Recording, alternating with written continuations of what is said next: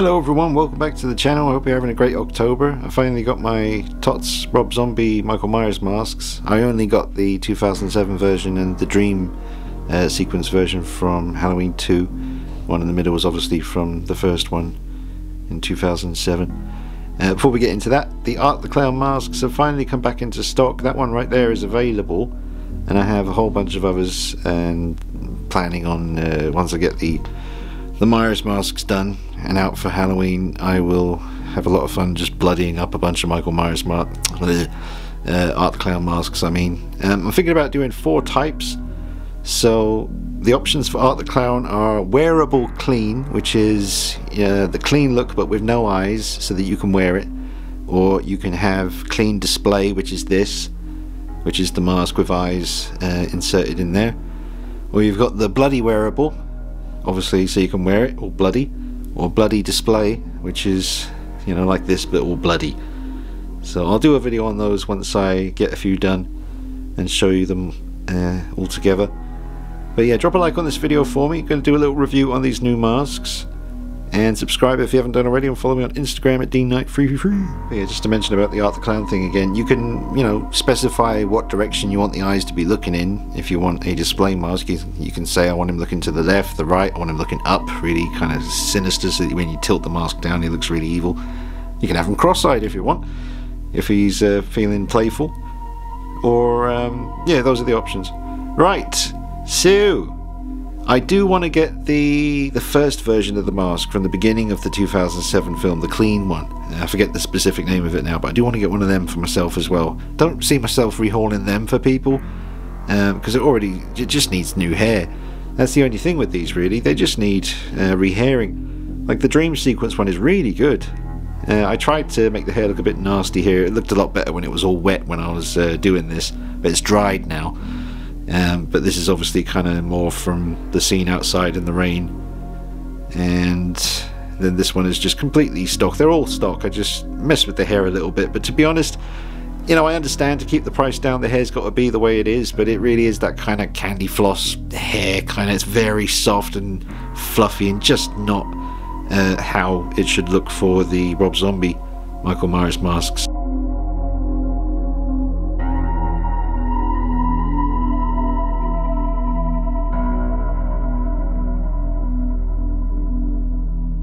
So I've got some hair and I'm looking forward to trying it out on these ones. I think it's going to be the right kind. And I'm just really looking forward to, you know, having some fun with these. It's going to take me time. Anything to do with blood and gore when it comes to masks, that's where I thrive. I love doing uh, blood on masks. And I'm even, there's a couple of little details, I'm, it's kind of gross, but I'm thinking about adding, so I don't want to say what it is yet, but just a couple of little details that I'm thinking of a way to add it into this mask to make it even more gnarly. But obviously you're going to take the hair off, strip it and repaint it, bloody it up, put the hair on, make it look all nasty. Uh, I got two of this one here, so I'm going to keep one for myself and then I'll be selling another one once I do it up. And uh, obviously I've got two dream sequence masks, I'm going to keep one for myself and rehaul the other one and let you guys know when it's available. But yeah, I really am impressed with them, as everyone seems to be. Like I said, I understand why the hair is the way it is, but even with that, it's a pretty decent looking set of masks, man. You get really, you know, quite impressed with them. So, well done, Tots. Alright, it's raining and it's windy, so the outdoor footage is going to be minimal, but that is the um, nightmare, well, dream sequence, but I've put gel in the hair and tried to make it look a bit more nasty. I haven't done anything to the hair on the 2007 mask camera is wet, so this is going to be brief. So yeah, it's blowing around in the wind. That's how it looks outside, uh, and that's how that one looks.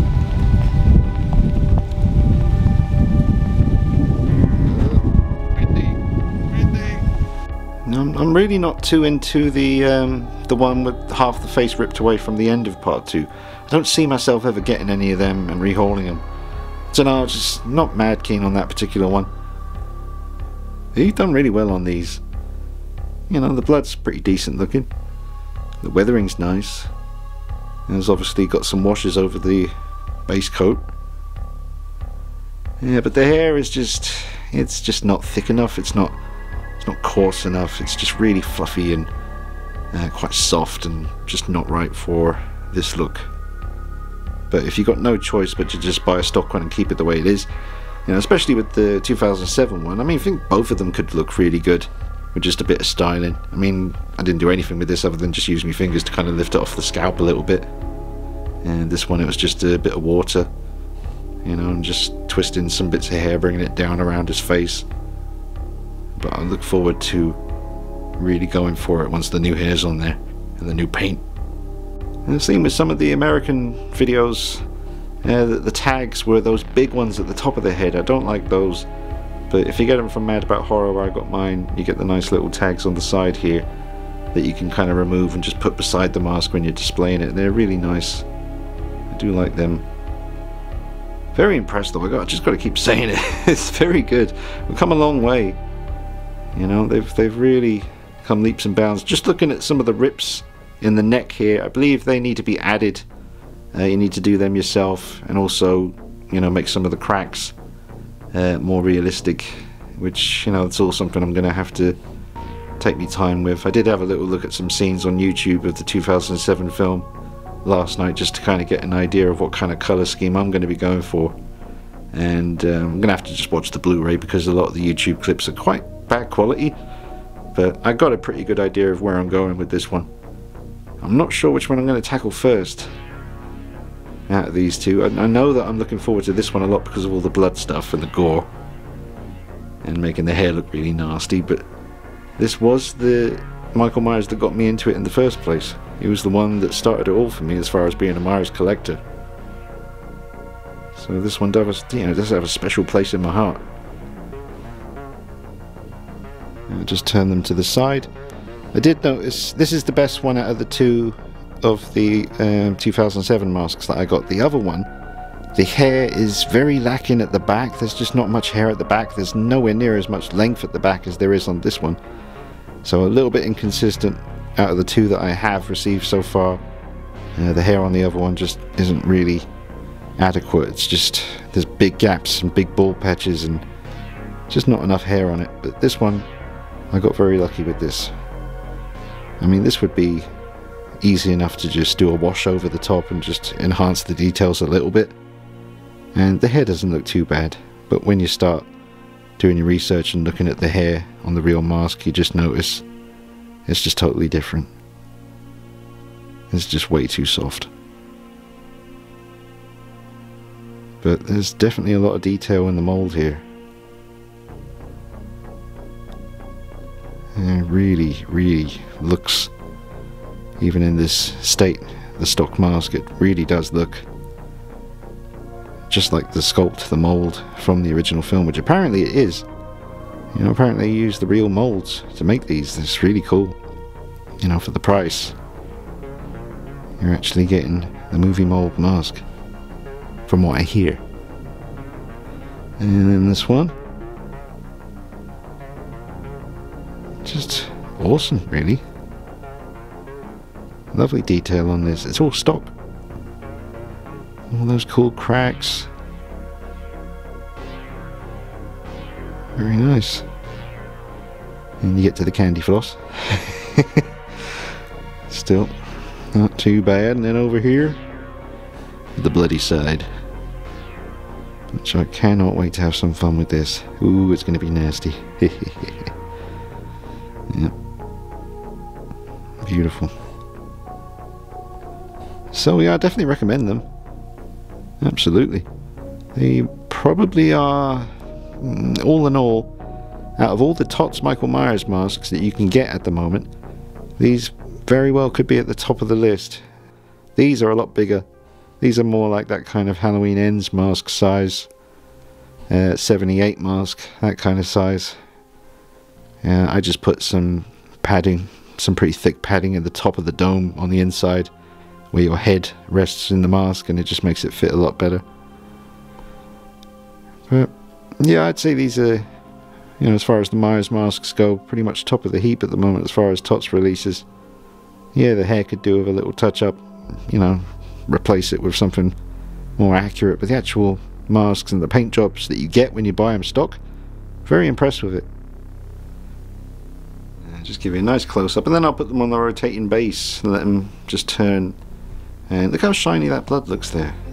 Nice and wet looking. That's cool. It's very nicely done. There's the close up here. Nice kind of weathering and rotting around the cracks. And more gnarly blood action. Yep. I mean, the detail on these is so kind of crisp that you may not necessarily need to strip these. In fact, that might be a real pain in the butt because of how, you know, kind of separated all the parts are. All these little rips and tears.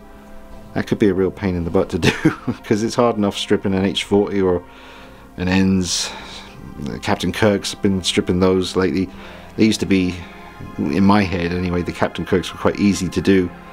But lately, I just find I have to strip them to get the better results, so they've turned into a bit of a pain in the butt as well. But yeah, it's all worth it in the end. But I don't know. That's why I'm going to take me time to think about it. I'm not sure if stripping this is necessary, but we'll soon find out. In 2007, we'll just get close up here. Turn down the brightness. Yeah, really very crisp HD detail on these. Definitely not a smooth surface like the kind of stuff I'm used to working on, to be honest. This is going to be a different kettle of fish. But a very fun, fun learning experience, you know, just been a big fan of this particular mask and the Tyler Mane Myers. Um, was years ago that I got this figure as the NECA quarter scale, rehaid and repainted. Love that piece. I don't know if Tots are intending to do the coveralls for um, the Rob Zombie Myers. I know they're um, doing their 1 6 scale figure. Looking forward to seeing how that turns out. This is a custom one here. Showed it recently on the channel. It's John Wick. I don't think you're going to be able to stop the guy behind you, John. Look at the size difference. Forget about it. It's over. Alright, let's put them on the rotating base. And then we'll wrap it up. Give you my final thoughts. And a score out of 10, might as well, just for fun. Alright, so the 2007. Just see that turning.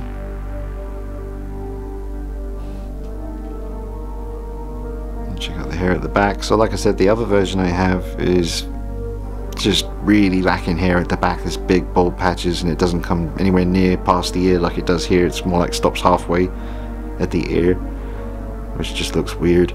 So I'm glad I got two, because if the other one had been my first impression, I would have been pretty pissed off. But this one is really good.